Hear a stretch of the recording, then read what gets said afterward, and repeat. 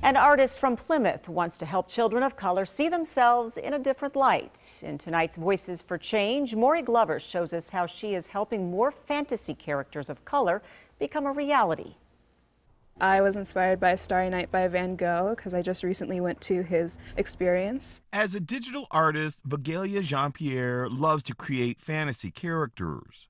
But like a lot of black artists, growing up, she didn't see many that looked like her. A lot of us love cartoons and anime and fantasy, and there's not a lot of black or brown characters in that space. So Jean Pierre put together a coloring book for kids of all ages called Melanin Magic. The 104 page book features 35 magical characters of color like mermaids and fairies by 14 black artists from all over the world. As I always wanted to create more representation, especially positive representation for the black community, and this was one of the ways that I could do that. I finally made digital curl brushes. Jean Pierre is no stranger to coloring outside the lines. Early this year, she went viral after launching a set of digital brushes that make it easier to draw black hair textures like braids, curls, and twists but she hopes her latest project helps children from different ethnic backgrounds see themselves reflected in the creatures they are coloring in. I've gotten so many DMs and comments and retweets saying how much